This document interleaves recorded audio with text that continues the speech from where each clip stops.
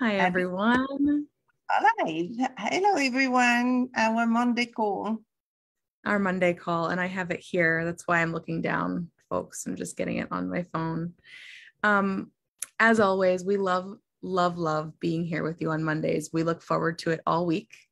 And as always, please feel free to participate to whatever level you'd like comments, questions. Um, we're happy to have you with us. Likes. Likes, yes, it supports us to do likes and comments. Little card. yes, exactly. Anything, like just all of it. we love to have you here.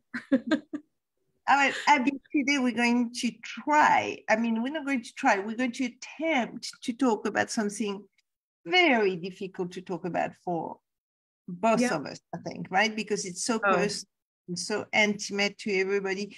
We're going to talk about reverence and devotion and time, and we're going to share ourselves in our journey. Yeah. To, gonna, to embody the divine. Go ahead. I was just going to say, we're going to just be in the space together and speak about something that's generally unspeakable. so Welcome. All right, so let me set up the So as always, we haven't planned anything, we haven't yeah. written down anything, so it might be a little bit messy, everybody. So we ask for your generosity, and we would love to hear what you hear and what we say. Okay, but you need to put yourself in the conversation with us. I think that's what will make the biggest difference. Don't listen Absolutely. to us like a podcast or something. Just really take it on. Imagine you talking to us. All right. So let's see. About uh, 12 years ago, right? My life took yet another turn and I went on a very rigorous search for the spiritual, right? I, I never do things in half. So I went for it. So I studied many different disciplines, religion, shaman, gurus, Hinduism, Buddhism, tantric yoga. I mean, I, I did whatever presented itself, Kundalini yoga. I mean, I really went for it. And uh, it was missing in my life. There was something extraordinarily missing. Mm. And I knew it was what we call the spiritual, right? Mm. So um, now, 12 years later, I'm still on the path, obviously. Um, and I create my life my entire life, all the circumstances of my life inside of the spiritual, or I call it the divine, because I just love that word. Mm-hmm. For example, even if I want to lose weight, right?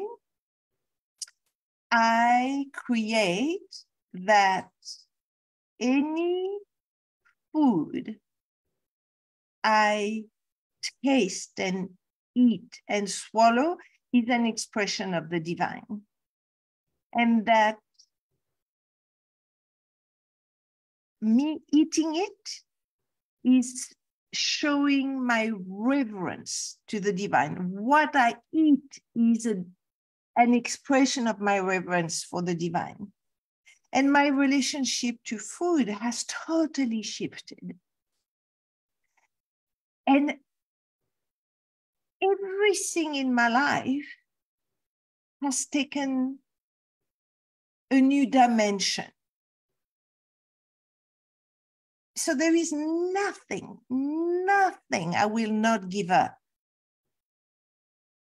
to experience the divine. For my human to merge with the divine, there is nothing I will not give up. Not even chocolate. wow. That's how you really know. really know. so something absolutely extraordinary is happening. When you get into that space that I call reverence, the the first you experience a total emptiness. The experience is my space is vast, vast and empty, but vast. And the whole of life arises inside of my space. Therefore, I am related to everything, everybody, every color, smell, happening, people, animals, flowers. I am the context for it all. And then you actually experience what many, many very wise people say is that there is no one out there. Hmm. There is no one out there. The whole of existence emerges inside of the context you are for life. And either you're going to be aware of the context and be able to choose and keep emptying anything that has to do with survival. Therefore, you will have the experience I'm having of this vastness. Or you're going to have life occurs inside of the context of survival, but it's still you. And then we know there is suffering, right? But Abby, there is something absolutely really amazing for me that is occurring inside of this context of the divine is that I am still, as a context, I'm a, a space, an opening, right? Still and moving. and everything inside of it is going full speed. I'm just watching a movie on on speed 25. You know, you know, it's it feels like time have has uh, become faster. Wow. And I'm watching it. I'm actually watching time. I kind of understand it how you're speaking of it. It's almost like how I imagine like I I love the forest and I believe that all beings are conscious in whatever form they're conscious. I don't know whatever level of consciousness, whatever level of consciousness, yes. Yeah. But I've had a lot of experiences with trees, a lot. And I really love to connect with trees in that way.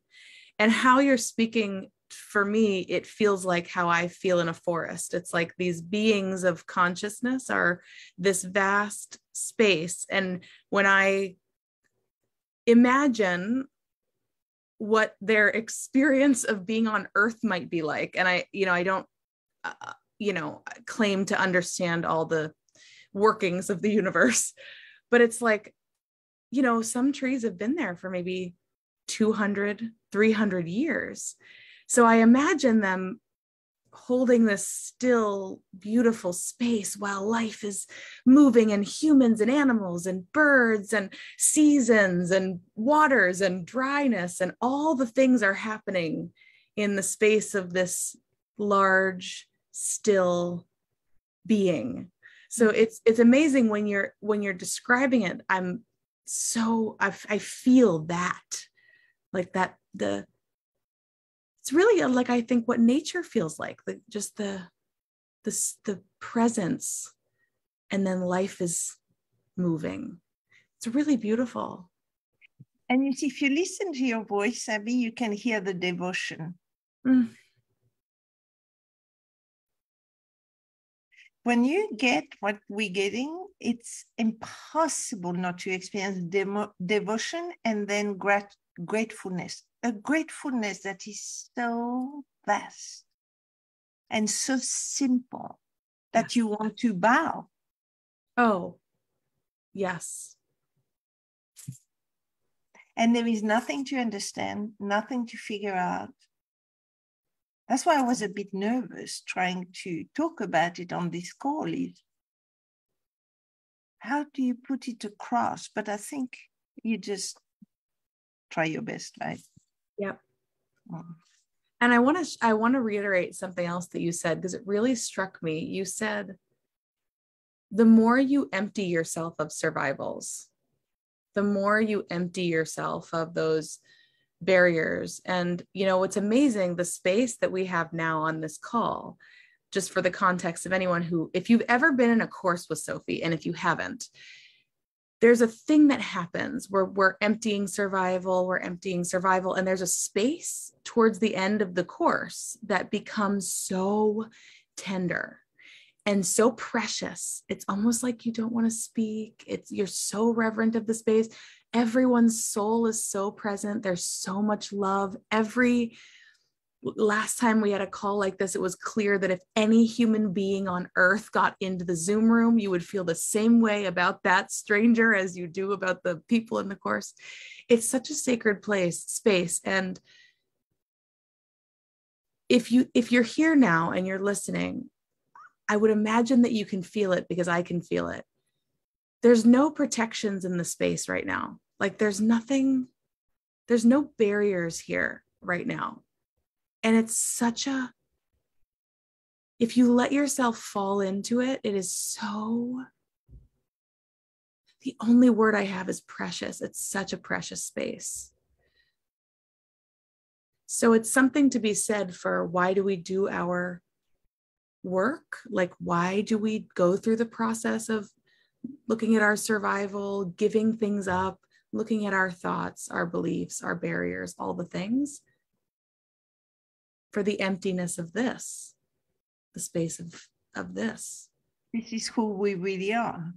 And, and you know, inside of everything Abby our work, the disentanglement of the ego, the awakening from sleepwalker to being awakened, the shift from survival to being alive, meditation, yoga, everything people can do, right? Is not the end. Those are just tools. Yes. Right. You don't want to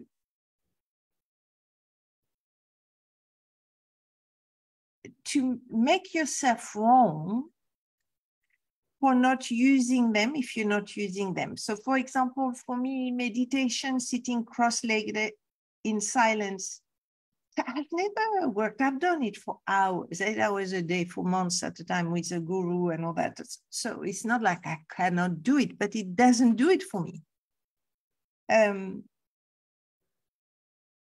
being in water does. Mm-hmm. I agree with that. Dancing does, if I'm alone. Mm-hmm. Uh, walking in nature alone mm-hmm. Mm-hmm. Will get me to that space. Right? So, what I want to say is ritual and practices are tools. Just don't force yourself to do something that doesn't work for you if it doesn't find the one that gets you to the to, to that place of nothingness, right? To the shore. Yes. Right? You always then, say trust, you can trust your inspiration, right? You can trust that. You can trust what tells you, what moves you, what touches you, that you can always trust yes and i think what you what you just said about the tool there's there's a um cannot remember who said it but they speak about spiritual practices as a raft. So if you're on one shore and you take the raft to the next shore if you're attached to the raft you can't keep going on your journey because you're attached to the raft. It's not that you if you love meditating and enjoy oh my god if you love yoga have at it. But just don't um what they say is not not not that it's a should but like just not attaching or identifying with the raft it's mm. it's a, just a raft that's right that's right that's right not attaching with anything or identifying with anything, in fact. to take it a, a few steps further, just. and then in that space also, Abby, what might arise for everybody, because it definitely arose for me, is um, I have uh, some figure in our history that I have a lot of reverence for Socrates, Jesus Christ, and I just want to say to everybody, I'm not religious. I'm not going from the interpretation of the religion. I'm going from the life of Jesus Christ and the lesson with another interpretation, right? Um, there is Buddha and there is uh, Gandhi, among others. And um, inside of my journey,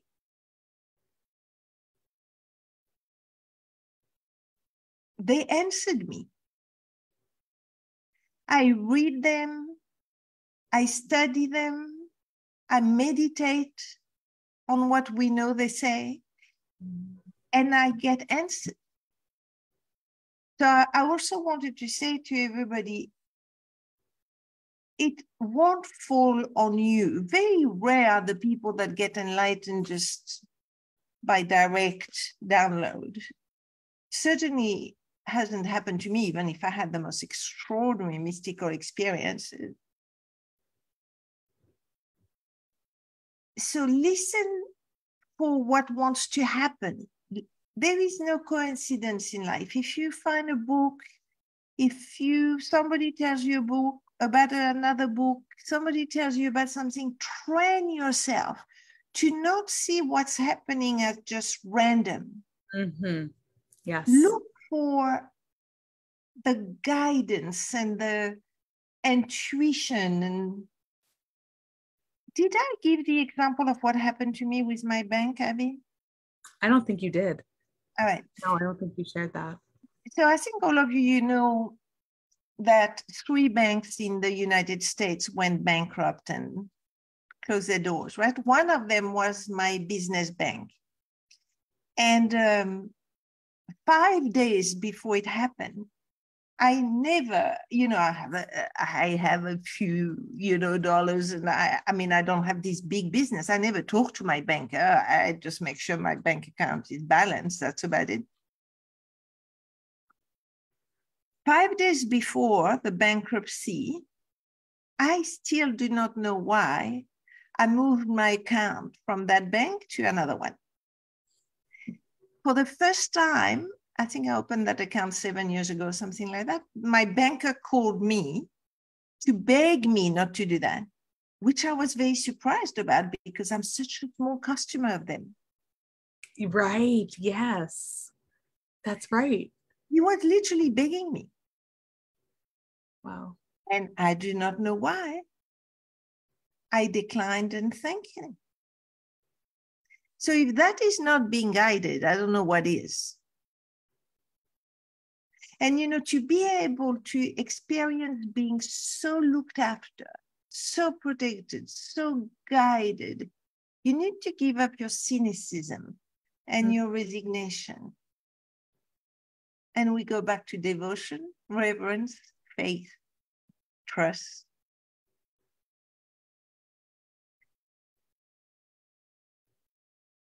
uh, we have a friend, you and I, that is an astrologer, and she very kindly uh, got on a call with us and told us, okay, Abby, you have to say what she told us because I can't remember. I'm not, I don't have many distinction in astrology, but Pluto is going into Aquarius, right? That's right. Yeah. Yep. Oh, I, I got it right. So the last time it happened, she said, there was the French Revolution, the Declaration of Independence of the United States.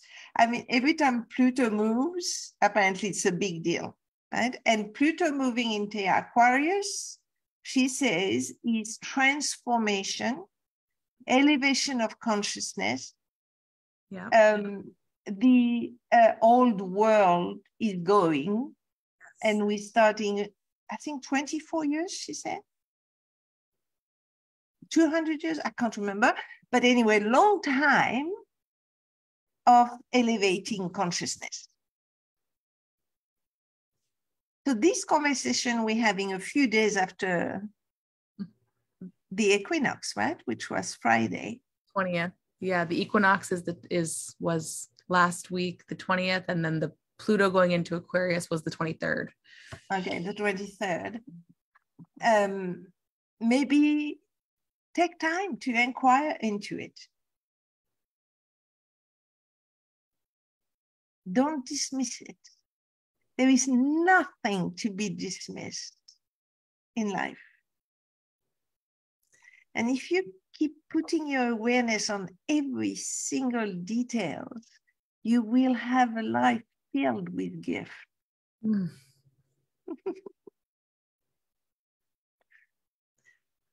um, I just wanted to quickly add to that piece. My first spiritual teacher, he taught spiritual tracking. It's where you track what's happening in your environment um, as message, as as a message from your own soul, right? Like it's just this constant moving process. And um, he always taught notice what your what your attention is pulled towards because we don't always notice when that's happening but notice oh all of a sudden i'm really interested in a, a crow. And you can look that up. What what does a crow mean? What is this crow in my life for? And um it's not just animals. It could be literally anything. But it, it is amazing what you just said about doing that practice of being very engaged in your life and messages that show up. It's um it it gives you so many gifts. It's such a it's makes you so present to what's happening in your world. It's a really it's a i think it's, it's incredible a really fun way to be alive too because yes. you you are sharp and awake You're right? in awe. Yeah. Yeah yeah. Two weeks ago i had a robin coming mm-hmm. in my three days in a row. And I mean, you know, you know how it is to try to get a bird out of your home, right? With two oh, yeah. dogs, right? So I mean, there was no this little robin, and I didn't want him to hurt himself, right? So three days in a row. And of course, I'm talking to that friend that we're talking about, right? you look at the meaning and say, oh, oops, I did not. I did not. I, you know, I'm still not trained in thinking that three days in a row, a robin in your home is a message. a whole write up about a new start in life, a, a new beginning, uh, uh, abundance. It was all written what a pity if I didn't get that message. I know. yeah, absolutely. Yeah. Yeah. So, everybody, there it is. We wanted to give you where Abby and I are, what we are inquiring into, what we are experiencing. We love you with passion, and we'll see you next oh week. And Abby, do you want to see if we have any questions or?